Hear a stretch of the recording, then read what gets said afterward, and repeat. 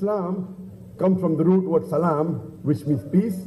It's also derived from the Arabic word silm, which means to submit your will to God. So Islam in short means peace acquired by submitting your will to Almighty God, Allah subhanahu wa ta'ala.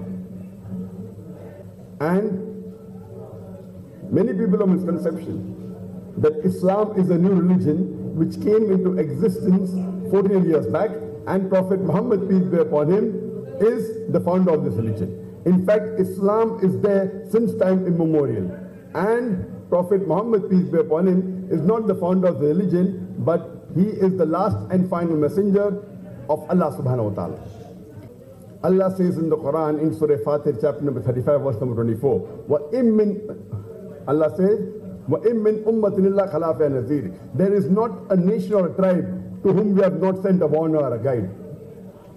Sorry, could you say the name or number of surah and ayat again? That you need not say, you just tell the translation. Okay. It will be difficult.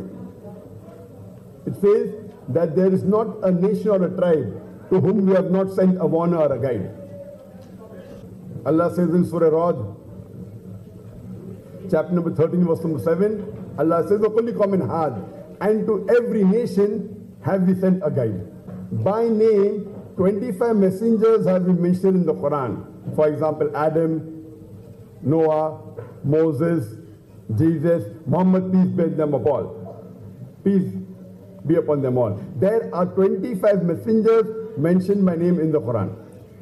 But our beloved Prophet said, it's mentioned in the hadith of Mishkat al-Masabih, volume number 3, hadith number 5737, that Almighty God Allah subhanahu wa ta'ala has sent 124,000 messengers on the face of the earth. But all the messengers that came before Prophet Muhammad, peace be upon him, they were only sent for their people, and the message which they got was supposed to be followed only for a particular time period.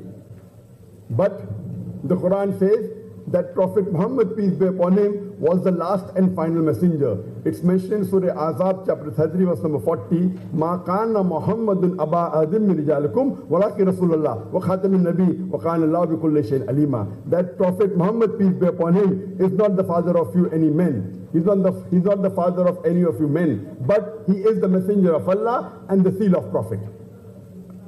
Because Prophet Muhammad, peace be upon him, was the last and final messenger, he was not sent only for the Muslims or the Arabs, he was sent for the whole of humanity. And Allah says in the Quran in Surah Anbiya chapter number 21 verse number 107, Allah says, وَمَا أَرْسَلْنَاكَ إِلَّا رَحْمَةِ الْعَالَمِينَ That we have sent thee not but as a mercy to all the worlds, as a mercy to all the creatures, as a mercy to the whole of humanity. So Almighty God Allah subhanahu wa ta'ala clearly mentioned in the Quran that Prophet Muhammad be upon him has been sent as the mercy to the whole of humanity. Allah repeats the message. Allah says in Surah Saba, chapter number 34, verse number 28, وَمَا أَرْسَلْنَاكَ إِلَّا كَافَةً لِلنَّاسِ بَشِيرًا وَنَذِيرًا وَلَكِنَّ أَكْثَرَ النَّاسِ لَا That we have sent thee not but as the universal messenger, giving glad tidings and warning them against sin. But most of the human beings yet do not know. This talk of mine, Muhammad, peace be upon him, the mercy to humanity, can go on for hours and days together. There is so much of matter, but for brevity, I will divide the talk into three parts. The first part, I will be speaking about what is mentioned by our Creator Allah subhanahu wa ta'ala in the Quran about Prophet Muhammad, peace be upon him. The second part, I'll be dealing about the sayings and the teachings of Prophet Muhammad, peace be upon him, which are mentioned in the Sahih Hadith.